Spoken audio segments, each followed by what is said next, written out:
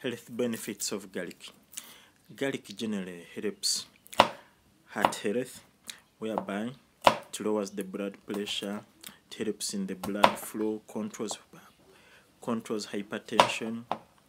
It also reduces arthritis pain because of its properties. It has got anti-inflammatory properties, so reducing the pain.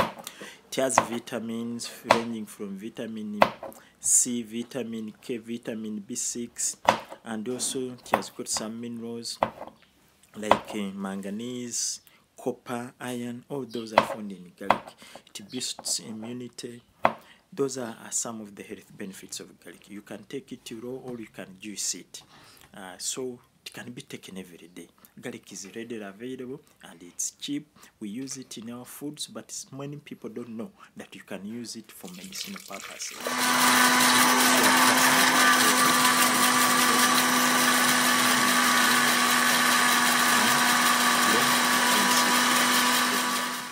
or you can just cut them into pieces and just eat them. Thank you. Please subscribe. So